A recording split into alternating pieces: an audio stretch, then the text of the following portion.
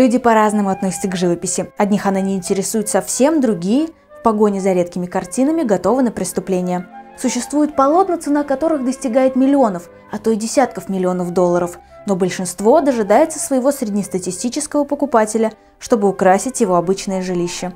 Почему? Оказывается, чтобы понять шедевры живописи, их нужно уметь читать.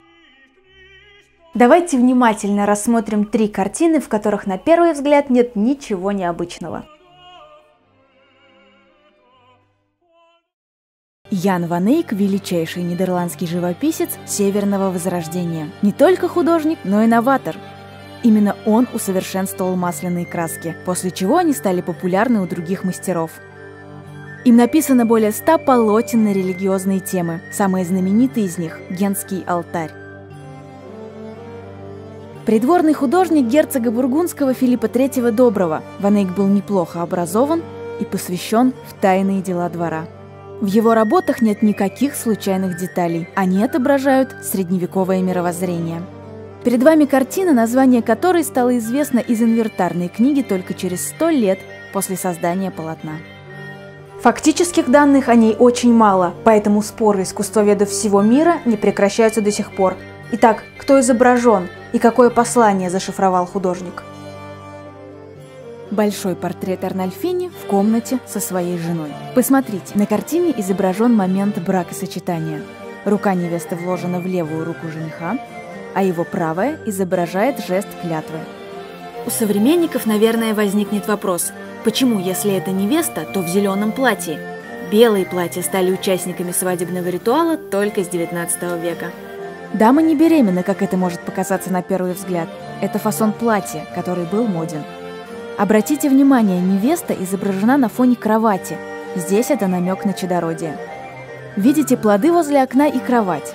Они указывают на блаженство в браке. Эти четки, метелочка, святая Маргарита – не просто детали картины. Это предупреждение о том, что в браке нужно быть сдержанным, осмотрительным, не давать особой воли сексуальным желаниям. Таково средневековое мировоззрение. А так как Ван Эйк был придворным художником, он не мог не отразить взгляды общества на любовь и ее телесные проявления. Для него это вещи сомнительные. Вы спросите, а где же священник? Видите горящую свечу над головой мужчины? Дело в том, что она-то и олицетворяет око Божье. В те времена, если горела свеча, то священнослужитель мог не присутствовать на брачной церемонии. А это один из самых таинственных объектов картины – зеркало. Давайте его рассмотрим. На раме изображены страсти Господни, а вот в самом зеркале видно отражение еще двух человек, которые находятся в комнате. Один из них неизвестный, а второй – сам художник Ян Ванейк. И сверху над зеркалом надпись «Здесь был Йоганс Ванейк». В начале 20 века были предположения, что так художник засвидетельствовал факт бракосочетания. То есть это уже не просто картина, а документ. Правда, со временем эту теорию опровергли. Заключать браки таким образом было незаконно. Обратите внимание на пространство между фигурами и их отражение в зеркале. Расстояние разное. На картине фигуры высокие, почти до уровня люстры, а в зеркале маленькие по отношению к пространству. Но мастер делает это из художественных соображений. Ведь если бы он хотел засвидетельствовать события, он не исказил бы реальность. Символы – кровать, метелка, четки, плоды, которые расположены вокруг фигур, они тоже оспаривают, что это точный реализм и превращают картину в моральный урок. Об этом говорит еще один персонаж картины – собака, которая как символ имеет две трактовки. С одной стороны, это верность и дружба, но с другой – это символ греха, похоти и порока. Собака с картины Ванейка в зеркале не отражается, потому что это символ дьявола. А Ванейк предупреждает, что в браке нужно контролировать свои желания, не поддаваться искушению, чтобы не попасть в ловушки, которые расставляет нам дьявол. Конечно, для нас этот символизм непрост, но вот образованные современники Ванейка читали эти знаки с легкостью. А это еще одна интересная работа, картина Ганса Гальбейна-младшего «Послы». Если вы окажетесь в Национальной лондонской галерее, вас непременно подведут к ней. Это полотно расположено на выступающей стене таким образом, чтобы на него можно было смотреть под разными углами. И это не случайно. Ганс Гальбейн-младший, живописец Северного Возрождения. Родился и вырос в семье художников.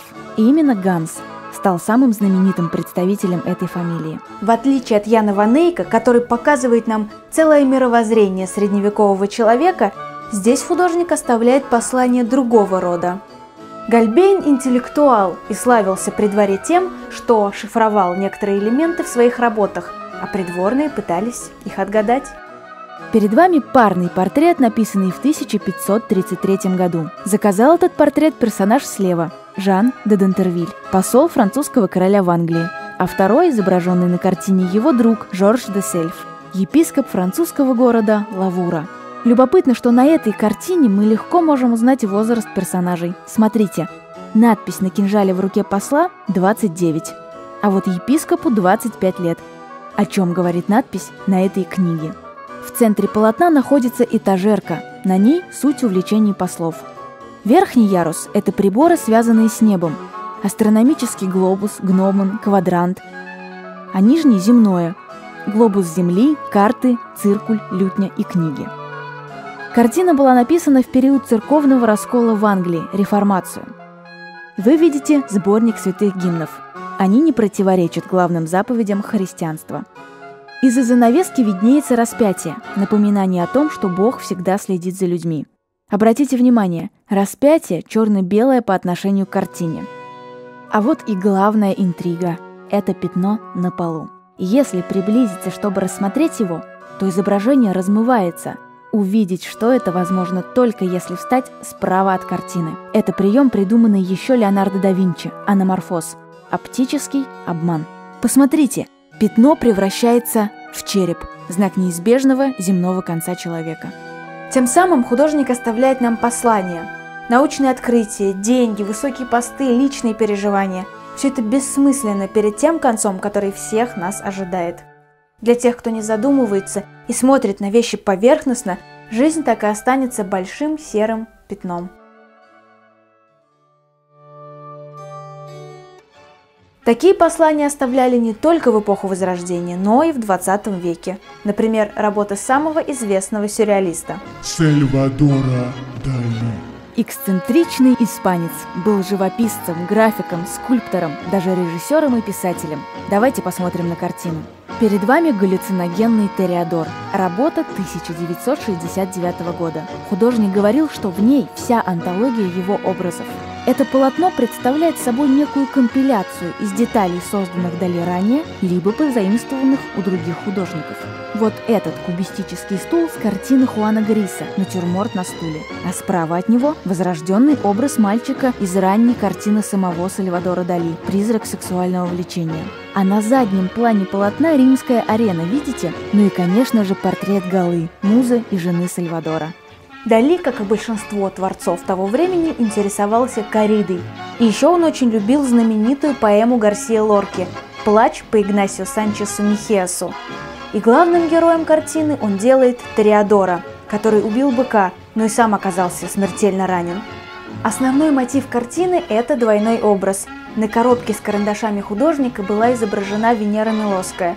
Однажды Дали вдруг увидел в ней лицо Тореро. Посмотрите, фигуры Венеры Милосской повторяются, и из ее теней возникает главный герой – Тореадор.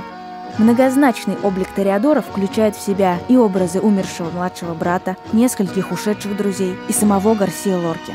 Возможно, что необычный зеленый цвет галстука Тореадора также является аллюзией на знаменитую строку Лорки «Любовь моя, цвет зеленый» из сомнамбулического романса а роза на лацкане его пиджака повторяет центральный образ цветка из оды Сальвадору Дали, которую художнику посвятил Гарсия Лорка. Обратите внимание на эту слезу – предчувствие смерти героя. Тореро уверен в том, что он победит быка, и он сделал это, о чем свидетельствует голова быка в луже крови. Но бык смертельно ранил его, и молодой Тореадор трагически погиб на арене. Самом центре аркады арка. В отличие от других, она не отбрасывает тени, а парящие с двух ее сторон ангелы символизируют небесные врата, сквозь которые проходит душа мертвого Игнасио и Тореадора Дали.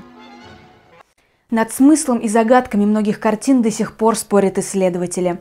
Возможно, художники оставили записи, которые помогут поставить финальную точку в спорах, но их предстоит еще найти.